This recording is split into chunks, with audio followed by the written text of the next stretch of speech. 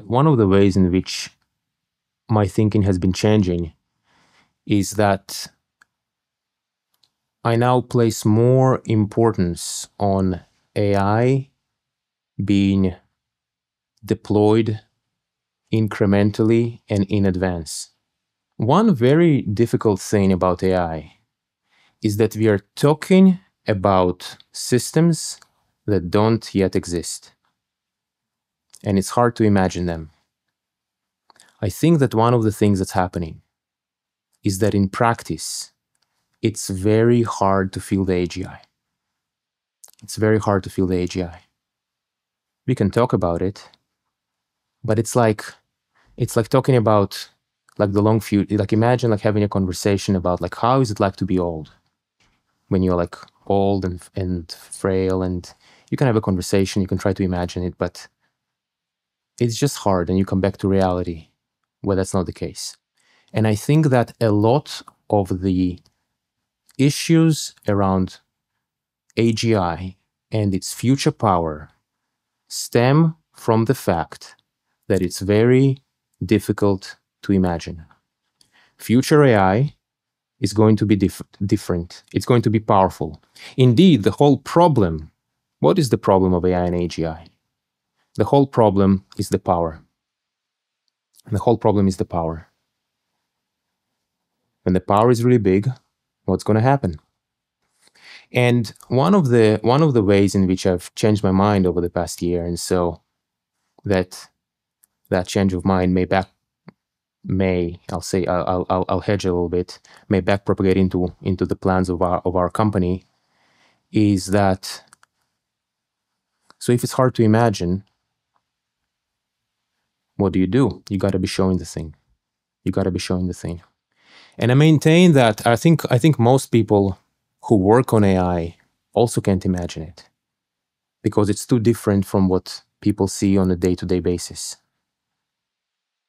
I do maintain here's something which I predict will happen. That's a prediction.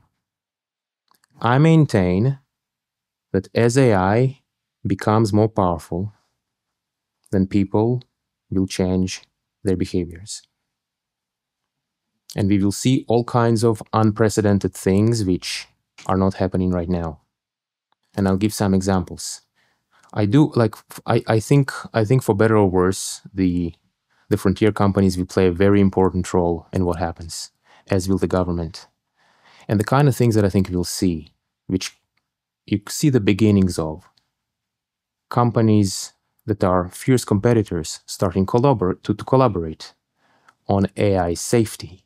You may have seen OpenAI and Anthropic doing a first small step, but that did not exist. That's actually something which I predicted in one of my talks about three years ago, that such a thing will happen. I also maintain that as AI continues to become more powerful, more visibly powerful, there will also be a desire from governments and the public to do something. And I think that this is a very important force of showing the AI. That's number one. Number two, okay, so then the AI is being built. What needs to what needs to be done? So one thing that I maintain that will happen is that right now people who are working on AI, I maintain that the AI doesn't feel powerful because of its mistakes. I do think that at some point the AI will start to feel powerful, actually. And I think when that happens, we will see a big change in the way all AI companies approach safety. They'll become much more paranoid. I think I, I say this as a predict as a as a as a prediction that we will see happen. We'll see if I'm right. But I think this is something that will happen because they will see the AI becoming more powerful.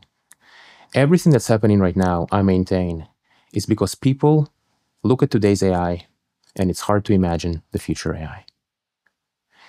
And there is a third thing which needs to happen. And I think this is this this and, and I'm talking about it in, in broader terms, not just from the perspective of SSI, because you asked me about our company. But the question is, okay, so then what should what should the companies aspire to build? Yeah. What should they aspire to build? And there has been one big idea that actually every that um, everyone has been locked in locked into, which is the the self-improving AI. And why why did it happen? because there is fewer ideas than companies. But I maintain that there is something that's better to build. And I think that everyone will actually want that. It's like the AI that's robustly aligned to care about sentient life specifically. I think in particular, it will be, there's a case to be made that it will be easier to build an AI that cares about sentient life than an AI that cares about human life alone, because the AI itself will be sentient. And if you think about things like mirror neurons and human empathy for animals, which is, you know, you might argue it's not big enough, but it exists. I think it's an emergent property from the fact that we model others with the same circuit that we use to model ourselves, because that's the most efficient thing to do. If you enjoyed this clip, you can watch the full episode here and subscribe for more clips. Thanks.